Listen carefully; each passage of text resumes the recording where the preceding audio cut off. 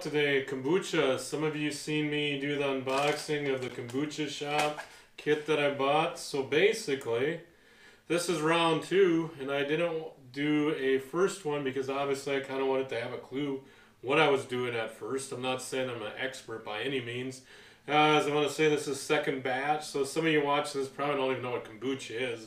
It's basically fermented tea, and you flavored it supposed to have probiotics, all that wonderful stuff, but kind of learned to like the taste of it. It's available commercially. So when I stumbled across it, I started a course like always, doing some research and found out that a lot of people make it yourself. So here we are, gonna do a second batch. Kind of want to show you what I got. We're gonna do a gallon batch again. So what do we basically need to do this? Some kind of a pot. This one is how big is this one? This one's three quart. Uh, reality could use a little smaller one, but I got a four cup pot or bigger than this one. I don't have in between. I need to kind of look for one of those. But to get started, I, I did a basic direction sheet too. That's kind of there. That is actually modeled off of the kombucha shop stuff. But I kind of wanted to try to recreate this for somebody that said, hey, I want to buy their stuff. I want to do this all on my own. Or I have a friend that's going to give me a Pec, uh, say a Pexile or a Scooby, and go from there. And so that's what I wanted to kind of do today. I'm going to give you a rundown. I'll probably push this on the website so you have that if you want to try this. Again, this isn't perfect, but it's modeled off of theirs. And I, I think their kit's worth it. I'm impressed so far. I don't think it can go wrong, but kind of wanted to do it. Hey, if I want to try it without buying a kit, what do I need? How do I do this?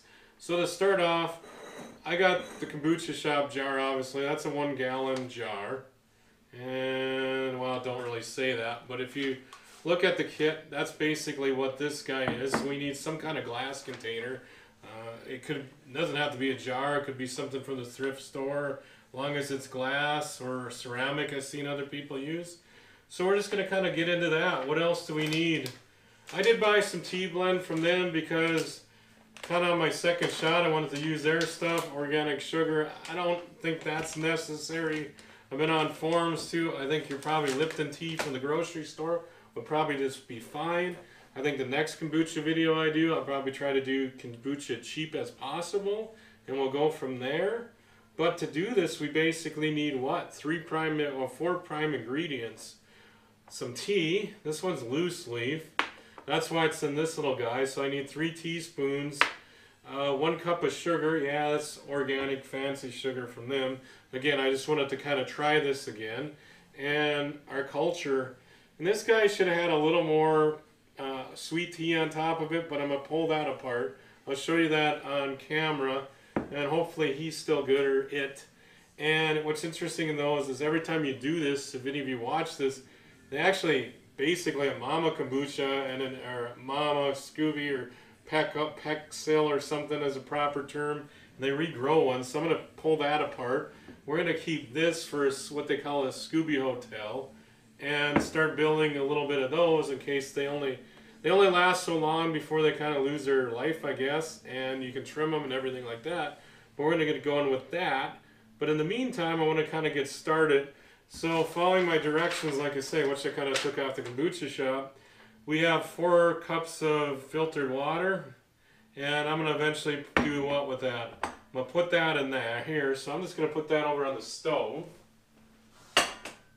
So I got that over on the stove. This is actually, they say filtered water. I do have water in my fridge, so I just been pulling it off of that. And this is a four cup measuring glass measuring cup. I think that works really well, so I've been using that trying to simplify all this. What I'm going to do is I'm to take this over and start this.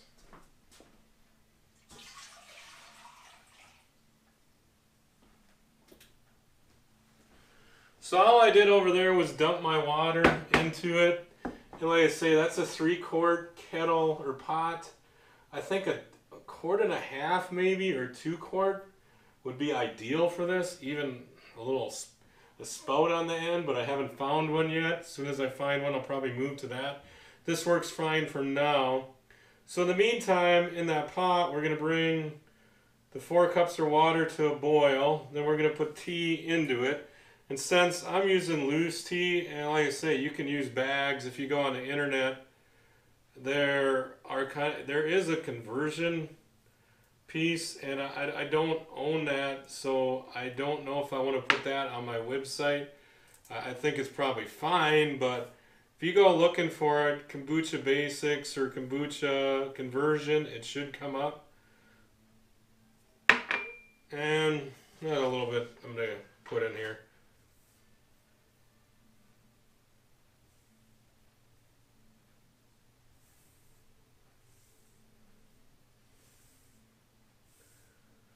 So I, I don't necessarily know if this is better or worse or anything, but you're, you're basically taking loose tea and putting it in a little cotton tea bag, which I, I suppose is fine. That's the way the kombucha store does it. Like I say, I think I'm the next one. I'm gonna do tea on the cheap, so or kombucha on the cheap. So I'm gonna try to just gonna use white sugar, and I'm just gonna use probably Lipton tea because that's readily available in my neck of the woods. And I'm just gonna use tea bags and I'll give you the conversion then. Like I say, I know there's a chart, but I don't know if I can really give that out, if it's copyrighted or not, so we're not going to do that.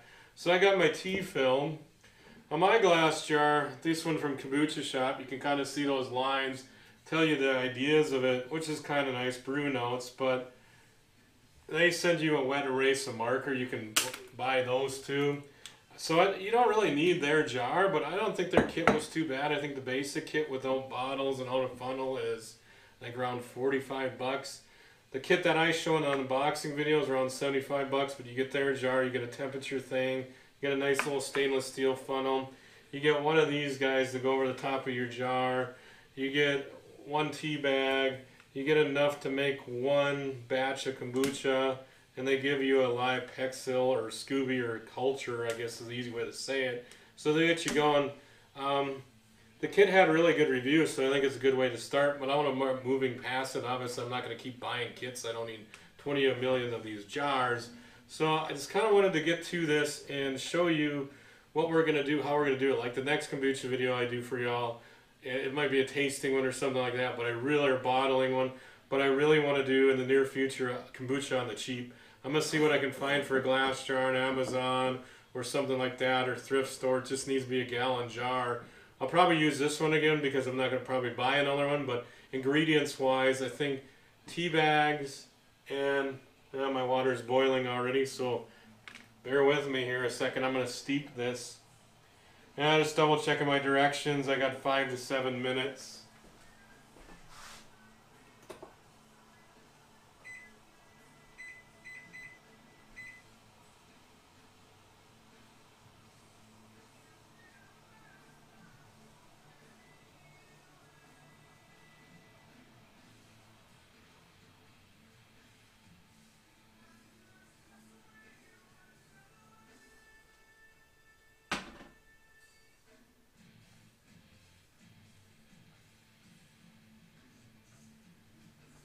So I'm just setting my tea bag in there and letting it steep. One thing I don't like about that three quart kettle, it's a little bigger than I like, so my tea bag don't sit in there quite right. But going back to what I was saying, I think you can do this rather cheaply. Uh, sugar's cheap right now. I don't really think you need organic sugar. So if I get a, I mean that's only a cup of sugar. I mean you can buy a pound of sugar for what? Know, a couple bucks or three pounds of sugar tea bags, Lipton tea bags are your favorite kind. What again, two, three dollars? So I'm pretty confident you can make a gallon of kombucha for a couple bucks um, once you buy the stuff to do it. Whereas your typical jar or uh, bottle of kombucha at the store from the commercial stuff is what two to three, well, two fifty, three dollars a small bottle. And of course, I'm not considering flavoring into that, but a lot of people use juice, so you're relatively cheap. Again, I'm gonna say easy. Make a gallon of this for under five bucks, which you're gonna yeah, there's some work involved, but easily net six bottles of the regular.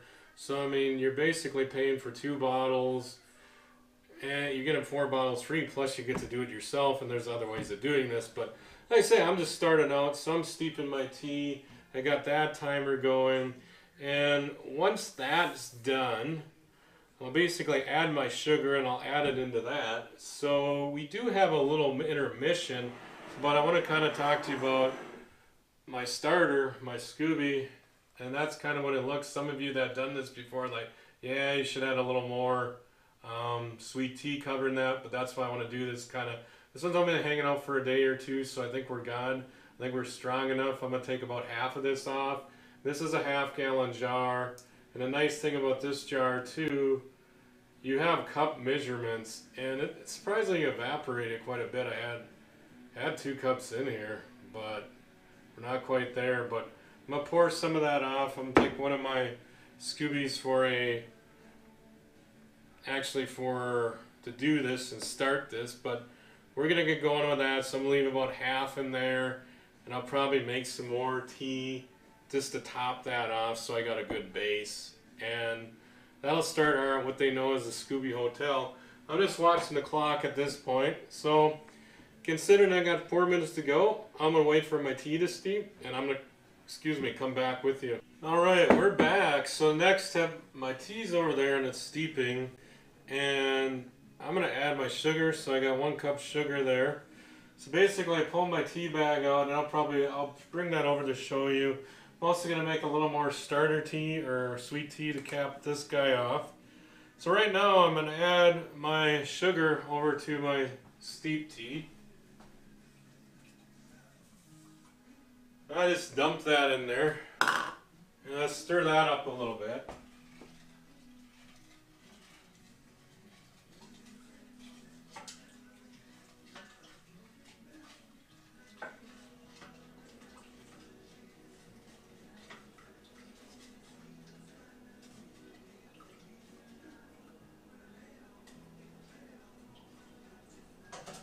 So now let's let that hang out a little bit, let it dissolve in itself a little bit. Last time I kind of did that too quick and it worked fine. But the next step, we pretty much, once the sugar is dissolved, we pour that into this.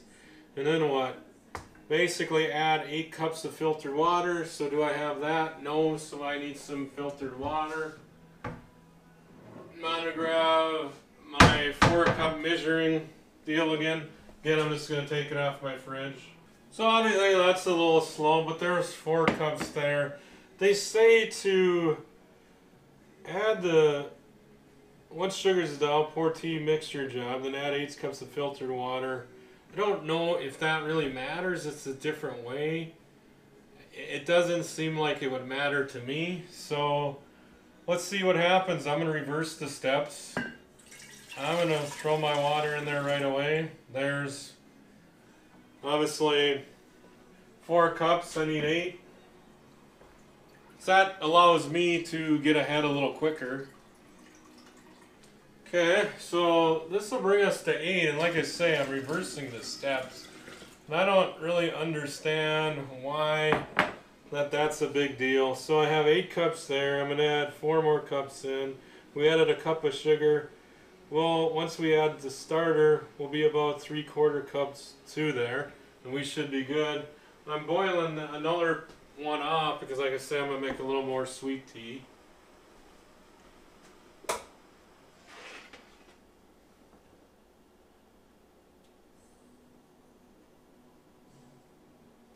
And that might be insane too, but what I'm doing on that one, since I got that full bag, I know it's going to lose a little strength, but I'm just throwing in about two and a half cups water because I want to make about two and a half cups sweet tea because when I pull this one out, I want to cover that pretty good. And I think that way, with using my tea bag again and considering there's a lot in there, should be good.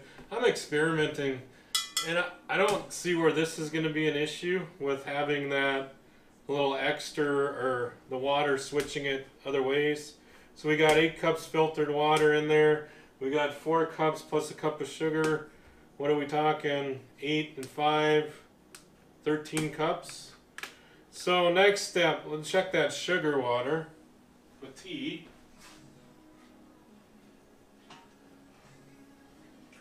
That is relatively dissolved in there. I got a little stickage on the bottom, but try to not make a mess.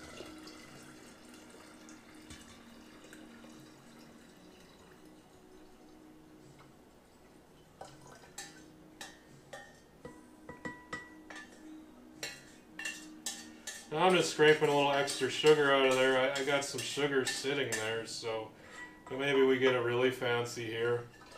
Just brush some of that off. I had that same problem last time. you know what I read, it, it, it's not exact science, and I think I'm probably overkilling here. So we got all our tea in there, and, and all the kombucha bucha forms are like, it's not everybody does it differently, but we're supposed to be about three quarters full. You can see that. Obviously, half is in here. Um, I'm gonna give it. I'm gonna take this. I'm gonna give this a little spin, just so we have consistent temp in there. And I'm just gonna steal that guy.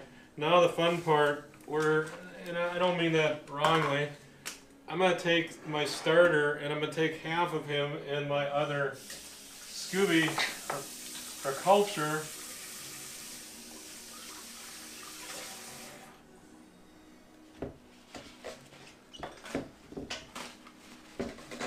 And of course we want clean hands and I don't want my towel all dirty.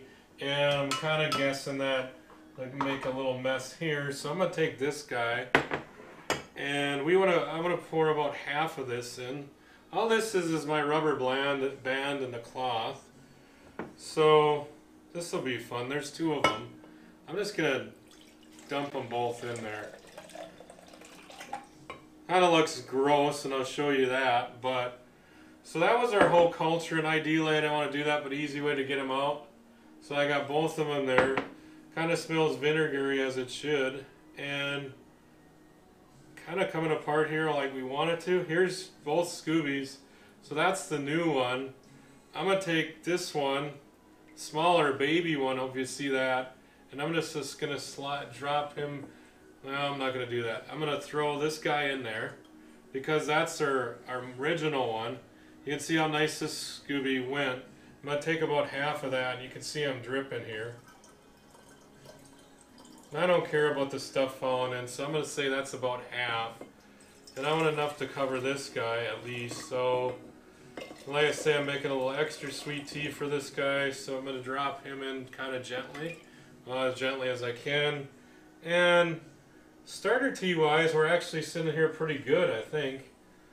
So you can kind of see there, I got my hotel, I got my young Scooby in there. It's kind of covered. You can't smell this really vinegary smell this is supposed to be. Some people think it's kind of grody, but this one's actually, I'm going to get rid of this mess.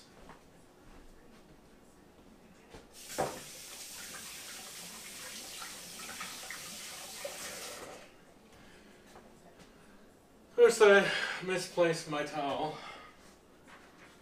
So this one is actually going to be a little hotel. So which one? This one here, but I want to top that one off a little bit more. This obviously looks a little nasty. Got a little purple stuff there. I want to give, I don't want to beat my culture up here, but I'll give this a little spin. We did everything right. It should come together and it should be fine. So we added the water, filter water, the culture, the sugar, and we want to place the cloth on it. And I, I should have checked temp, but I'm a little warmer than we want to be, but I think we'll be fine. We're sitting at 84. I don't think that's going to be enough to kill our culture. Obviously, that's a little hotter than we want. But what they recommend doing this, I believe, if I remember correctly, is right around that 75 degree mark. So we're about 10 degrees higher. And to start this out, I think we'll be fine. And we could have let it cool a little more, but I'm not too worried about it. If it don't work, it don't work. And the reason why I'm saying that too is we have another Scooby, so if I, I mess this one up, we'll be fine. So all I'm going to do is move that guy over. And of course I had to get a little water on my pot. And, and that's about it. I'm going to take my marker and this is, I don't even know how to say that, Sencha tea blend. So I'm going to write that on my jar.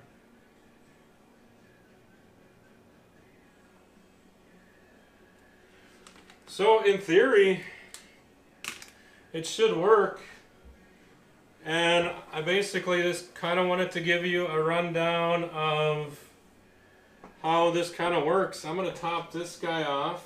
with some sweet tea, and I'm gonna call it good. And we'll see how that one looks. I mean, it looks kind of nasty with that new uh, culture in there, but you can cut those and switch them around. So we'll probably do it like these ones look really nice. You know, this is the little baby one, and we should be ready to roll. Um, hope you enjoyed this video. Again, obviously it's not perfect. I gotta double check that temp.